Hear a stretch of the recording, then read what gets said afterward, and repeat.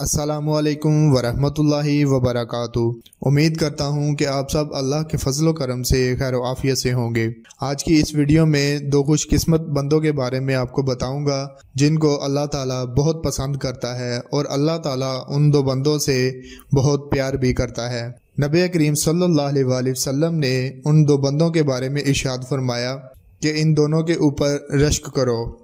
अगर कोई बंदा किसी की तरह बनना चाहता है तो वो इन दोनों की तरह बनने की कोशिश करे और इन दोनों की तरह बनने की ख्वाहिश करे। सही बुहारी की रवायत है कि आप सल्लल्लाहु अलैहि वसल्लम ने फरमाया, जिन लोगों के बारे में रश्क होना चाहिए, वो ये दो बंदे हैं। पहले बंदे के बारे में फरमाया कि वो बंदा जिसको अल्लाह ताला ने कुरान पाक की नेमत अता की हो और वो दिन रात उसकी तिलावत करता हो, उसकी तिलावत में मशगूल रहता हो।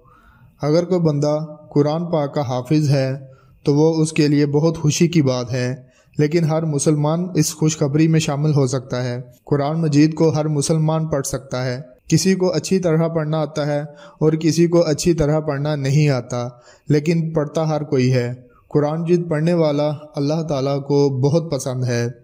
जो भी कुरान पाक पढ़ता है, वो इस खुशखबरी में शामिल है। चाहे वो तिलावत ज़्यादा करता हो या कम करता हो?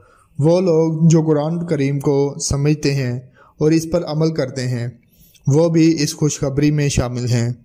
हर मुसलमान को चाहिए कि वह हर दिन कुरान पाक की तिलावत करे।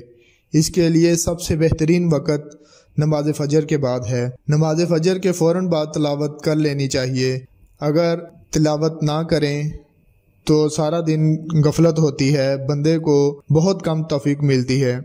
तो फरमाया कि वो आदमी जो दिन रात कुरान पाक की तिलावत करता है, वो आदमी काबिल रश्क आदमी है और अल्लाह ताला उसको बहुत पसंद करता है। और दूसरे खुशकिस्मत इंसान के बारे में फरमाया कि जिसको अल्लाह ने मालो दौलत अता की हो और वो बंदा अल्लाह की रज़ा के लिए, अल्लाह की खातर उस माल को गरीबों और मस्किनों में खर्च करता हो, ऐसा बंदा भी अल्लाह ताला को बहुत पसंद है।